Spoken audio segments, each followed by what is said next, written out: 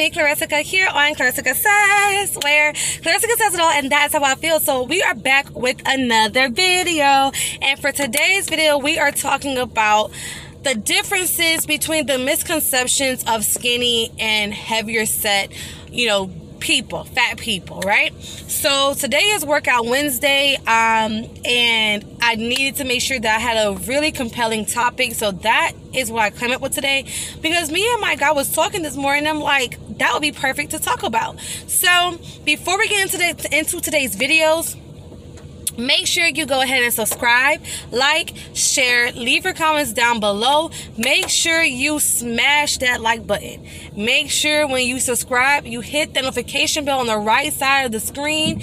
And make sure you continue to come back to my videos every Wednesday, especially if you are on a workout journey, especially if you are trying to lose a couple of pounds, especially if you are trying to be fit, thick, and healthy.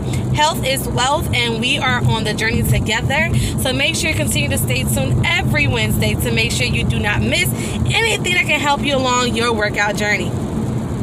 So let's get into today's video. I'm like, you know, you know, seriously, Billie Eilish has gained some weight. She, you know, was skinnier and now she has put on some weight. I'm like, she's eating real good, like real good. And he was like, why is there, why is that the thing in here where, you know, we praise people that are more heavier set and stuff like that compared to overseas where they praise people that are more skinny, more fit. And I was like, no, the, the point was that I was saying that she was, you know, eating really good. Like she's eating to the point that she's gaining weight, you know, a, you know, making like a little side comment, right? And he was like, well, you know, it's weird if somebody is smaller. When you get smaller, they can run, you know, a mile without without losing breath. But you're bigger if you can't run a mile without losing breath. And he started going like that, stuff like that. And I'm like, well, you have to hold on there. That's a misconception that's a misconception that because you are heavier set, because you are considered to be fat, obese, or big boned, that you cannot run a mile without losing breath, or that you can't run, a mile at all, or that you can't keep up with a workout, or that you can't work out in general. Like, that's a huge misconception. I know, and I had to go into that so you guys can see how that happened. But I know a, quite a few quite a few people that are bigger people, heavier set people, and it's not because they eat themselves, as I was referring to Billie Eilish, because she she you guys see her genetics, she was not supposed to be the size she is. She's just been, you know, chilling, relaxing. That's okay. A couple extra pounds never hurt anybody, baby. That's, that's not the point of this conversation. But the point is, it's not because they ate themselves like that way. It's not because they are obese on their own. That's just their genetics. And even for people that I know that did maybe eat themselves to a, a higher weight, they still are fit. There are some people that are bigger type people, bigger, you know, bigger, heavier set people that are still in shape.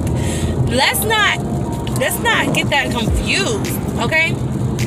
Yes, we are all on a workout journey where we want a lot of us wants to lose weight, but there are some people that regardless they lose weight or not, they are going to be a heavier type set type of person. And that's just their genetics. That's just how they are. And just because you are heavier set does not mean that you cannot be fit. That does not mean that you cannot be in shape. I know heavier set people that eat less. I mean minute portions than a person that is smaller, and that can be due to the metabolism. A bigger person may have a slower, uh, a slower metabolism, which causes, which causes them to eat less, or that whereas a smaller person may have a faster metabolism, which causes them to eat more. But at the same time, big or small, and vice versa. There are some small people that have slow metabolism, but they still eat like crazy, no matter what. And there's some big people that have a fast metabolism, and they still eat less. They may eat more stuff, but their, their the portion sizes are really small, and it's not because of their size. It's just because of who they are as a person, human being, what they like, what they don't like, their, their the makeup of their bodies. And so I want to talk about these misconceptions that because you are a bigger person that you cannot be fit, that you cannot be healthy, that you cannot be in shape. That is a lie. That is a lie. And if you are a heavier set person, if you are someone that is over 250, 300, whatever, get up and start toning up your body. You can be big and heavy set and still tone up your body. You can still look good. There are some females out there that are bigger boned women that look good. Okay?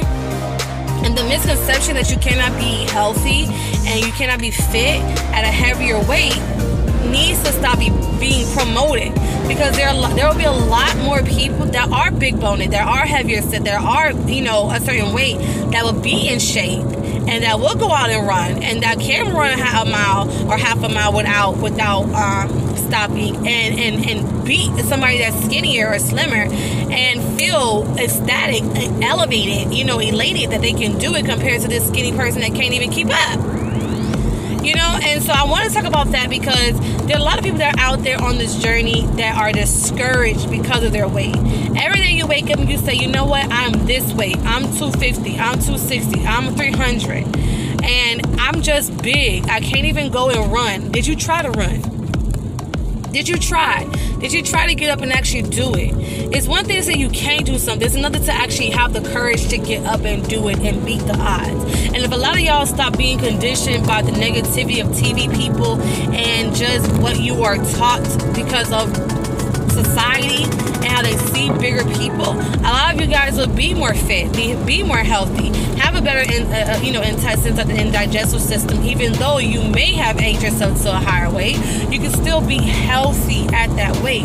And over time, being healthy at that weight causes your body to tone up, be more fit, and yes, in return, you will lose weight, but it'll be that good weight, not that weight that has your skin saggy. When you see people that, that are heavier set and their skin sag, they either had a lot of skin and a lot of fat that was built up and then they lost it off of muscle, stuff like that. And they didn't get their time, their body enough time to, you know, snap back because they drastically lost weight. Or, you know, some people have loose skin because, like I said, they could be highly obese, over 450, 500 pounds. And yes, if you are highly obese, 450, 500 pounds, okay, you may not be able to run a mile uh, or without nonstop, unless you're like an athlete. Okay, I get it. But like the the normal, you know, bigger person, 200 to 300 something pounds, you can you can get fit, you can get healthy, you can do it. Today is a day to get up and start doing it. Stop beating the odds. Stop having these misconceptions towards your size, your weight, your physique, and get up and get it, girl. Get it. And for you men out there too, get it, man. Get it, guys come on, let's get up and let's do it because it's nothing. It's nothing to, to, to it, but to do it. And for those of you that are there, first of all, let's go back. Not only are people that are 200 to 300 pounds overweight or, or, or obese or fat, there are people that are 5'4. If you are 5'4 and you are 160 pounds, baby, you are overweight too you are overweight as well. That's over your weight. Due to your size and your height, you are supposed to be at a, the, a range of 130 pounds or 140 pounds. So if you are 160 at 5'4, you are also overweight. So it's not the 200s only. It's all body types. 5'3, 5'2. If you 160, baby, you overweight, lose some weight too. You can do it. Can you run can you run a full mile? Nonstop. And if you can't run a full mile nonstop, it's time for you to get up and start activating yourself and starting to get up and get healthy. It's not just the people that are heavier set because just because you are look you look good in the eye of the society does not mean that you're healthy on the inside.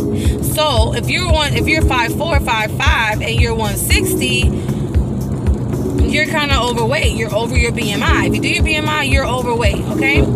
So, yeah, if I were you, I would get up today, go try to see if you can run a mile. And every day, every single day, nonstop, a mile nonstop, every single day, keep pushing at it, keep pushing at it, keep pushing at it, keep pushing at it, keep pushing at it. This has nothing to do with your your weight. Because just because you look at the scale and you see that your body's going down in size due to your pounds, it does not mean that you're becoming more healthier. The point is to be on a health conscious journey, on a healthy weight loss journey. Not just to lose the weight, but to make sure that your body is seeing the benefits of you losing this weight and you're being the best so that you can be the best and, in the best health that you can be because health is wealth. Weight loss isn't wealth. Health is wealth. You being healthy, eating the right stuff, eating things that your body, you know, needs to have, the vegetables, the fruits. If you're not eating your vegetables and fruits, make sure you take multivitamins. And if you take multivitamins, try to get the most organic type of multivitamins because even then, sometimes some gummies have too much sugar in it, and that just defeats the purpose. You want to, you know, of course, be as healthy as you can. Health is wealth, guys, right? So, with that being said, I just want to make sure you guys get the misconception that one, just because you are a heavier set person on the brink of obesity, on the brink of being overly fat or fat, it does not mean that you cannot be healthy. It does not mean that you cannot get up and run a mile and not have yourself running out of breath. It does not mean that you cannot be fit. The second misconception is just because you're a shorter person, because you're a smaller person, does not mean that you are not overweight also. Just because you are smaller does not mean that you are not overweight. Just because you're skinnier does not mean that you're not overweight. Check your BMIs, check your weight, check your height, and you will see that a lot of us are actually overweight. And if you realize you're overweight, make sure at least you're overweight and healthy. You can love yourself for who you are, that's fine. But make sure you're at that level of your of that capacity as they call society and make sure that you are healthy make sure you are consciously making decisions to make your life healthier you're getting up at least run a mile non-stop and you're able to do the things that you need to do to be the best self that you can be with that being said, I'm gonna let this video go. Thank you so much for those of you that watched this video. Leave your comments down below. Let me know how you feel let me know how you feel about this video um, make sure you share this video to those that need to hear. I know there's some bigger bone people that maybe has lack of confidence, um, some heavier people that have lack of confidence, some people that are even 160 and they're sitting there like, dang, I want to lose some weight. This is their confidence. Every single day, get up, run, do a workout video.